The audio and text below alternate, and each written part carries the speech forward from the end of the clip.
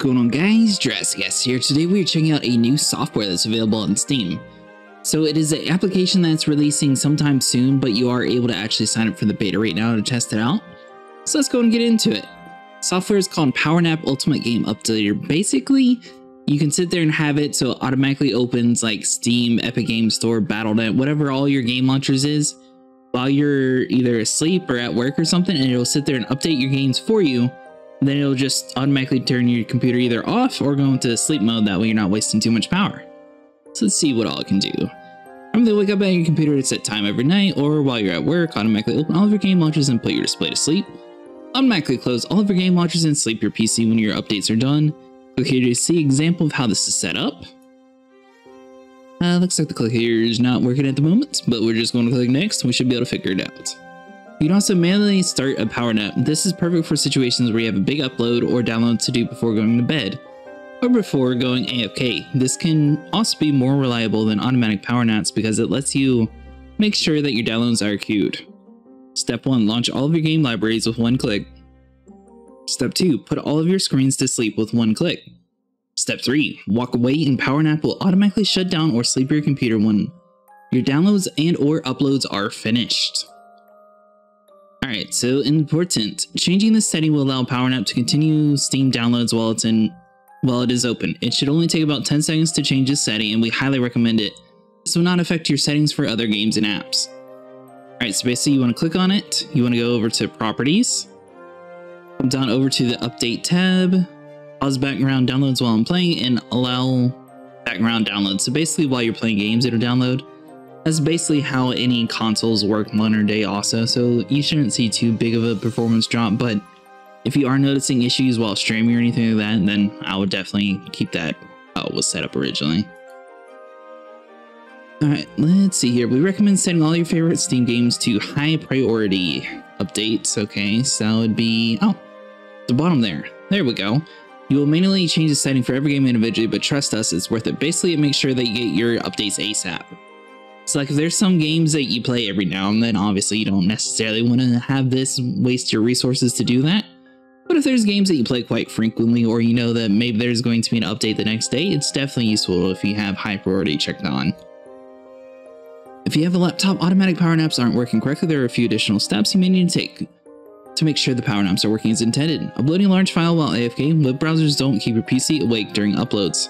Simply set PowerNap to analyze uploads in the controls and then start a PowerNap at the beginning of your upload. PowerNaps will keep your PC awake during the entire upload before safely putting your PC to sleep. Pin PowerNap to the taskmask. Duh. Pin PowerNap to your taskbar for easy access. If your screens won't stay awake, then click or check that page out, and you can always ask them for feedback. All right, so when your downloads are complete, you can decide to exit launchers and sleep, shut down the computer, sleep computer, restart computer, exit power nap, exit all launchers, exit power nap and sleep, exit launchers and sleep, or do nothing. Each game store, Steam, Battle.net, Epic Game Store, Origin, etc. So it looks like we basically have to go in and find wherever we saved it on our computer. So I'm going to go ahead and do that. Each person's probably going to have it different. Unless you have it on your boot up drive, so if you want to make it easier, you can always drag some of the information from like the taskbar down at the bottom of your computer to somewhere on your desktop. That way it's just right easy. And then all you have to do is click browse over to your desktop view and then just scroll down for whatever you're looking for and boom, you're done. I believe that is all of the main browsers that I have installed. So I'm going to go and click start PowerNap. We have exit launchers and sleep. I feel like that's probably the best bet. That way you know if something is going on, at least it's still going to continue while it's in sleep mode. Shutdown computer can be useful. Maybe just exit all launchers. Yeah, we'll just do exit all launchers for now. We're not trying to go all crazy. Make sure games are queued and updating. Enable auditing updates makes this step easier in some launchers. Steam likes to schedule updates for a particular time. Mainly start these right now. If all of your Steam games have high priority updates enabled, you can skip this step. The game libraries may need a little bit of clicking updates to get started too. Alright, so good news is I am awful about actually updating my stuff. So we should have plenty of games to update. Yeah, so let's go and just start. Oh. Let's go and just start all this stuff. And that should be about it. Now let's come back over here to that. That's all good. Click next. And now we just wait.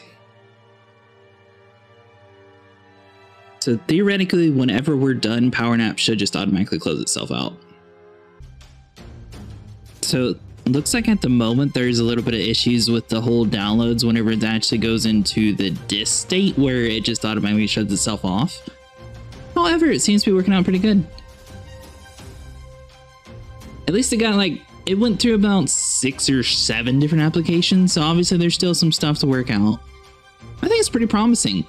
So if we want to go into just how to set everything priority real quick. So we sort of skipped over it, which I mean, I don't know. I have like a whole bunch of random programs, so I am definitely would not go through the whole list. But it was under the properties menu, updates, automatic updates. You can click this button, then you can do high priority. Always auto updates this game before others. So basically, this is going to have its priority. So whenever you launch Steam, it's going to at least try to do that. Then you can always have pause background downloads while I'm playing. So I mean, I feel like that actually gives you a little bit better performance most of the time. And then if you click this little down arrow here, make sure you have software selected. If you only have games selected, you will not see the power nap application.